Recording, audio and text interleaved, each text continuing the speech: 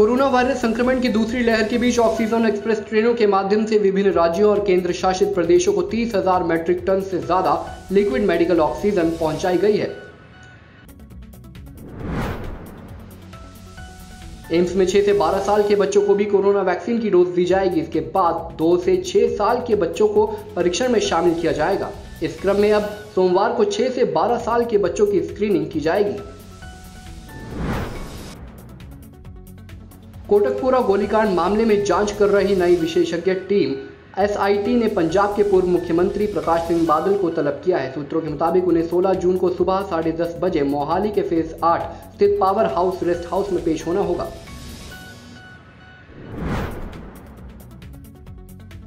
पिछले तीन दिनों से बारिश के कारण मुंबई में हालात काफ़ी खराब है। मुंबई और आसपास के उपनगरीय इलाकों में लगातार हो रही बारिश से जनजीवन प्रभावित है।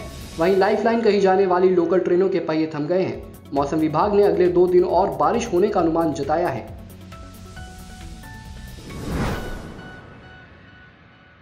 केंद्र सरकार ने देश के सुदूर इलाकों को ड्रोन से वैक्सीन पहुँचाने के लिए बड़ा कदम उठाया है। दुर्गम और कठिन रास्ते होने के चलते देश के कुछ हिस्सों में तय समय पर टीके नहीं लगा पा रहे हैं। ऐसे में सरकार बड़ी योजना बनाते हुए ये पहल शुरू कर रही है।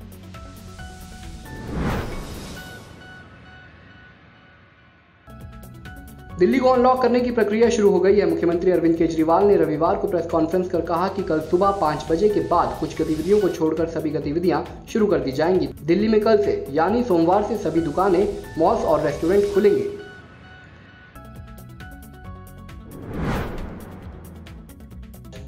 महाराष्ट्र में सियासी गतिविधियाँ तेज़ी से बदलती हुई नज़र आ रही है। शिवसेना की ओर से कहा गया कि पाँच साल तक उद्धव ठाकरे ही मुख्यमंत्री रहेंगे। इसके बाद कांग्रेस अध्यक्ष नाना पटोले ने कहा कि कांग्रेस अब स्थानीय चुनाव से लेकर लोकसभा तक सभी चुनाव अकेले लड़ेगी।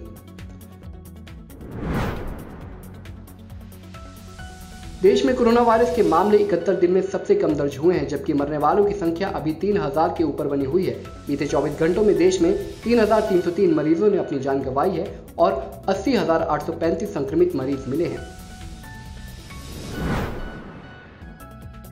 विश्व टेस्ट चैंपियनशिप के फाइनल से पहले टीम इंडिया को बड़ा झटका लगा है।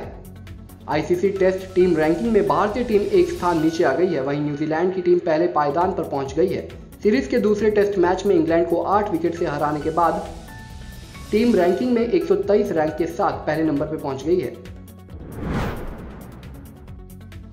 कांग्रेस पार्टी के नेता कपिल सिब्बल ने एक बार फिर अपनी पार्टी की अंदरूनी कलह और देश के राजनीतिक हालात पर बयान दिया है। उनका कहना है कि देश को इस समय मज़बूत विपक्ष और कांग्रेस पार्टी के भीतर अंदरूनी संतुलन बनाने की ज़रूरत है।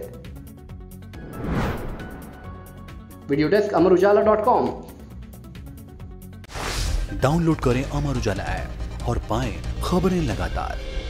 अगर आप ये वीडियो YouTube पर देख रहे हैं तो हमारे चैनल को सब्सक्राइब करें और बेल आइकन को दबाना ना भूलें। अगर आप Facebook पर यह वीडियो देख रहे हैं तो हमारे पेज को लाइक करें।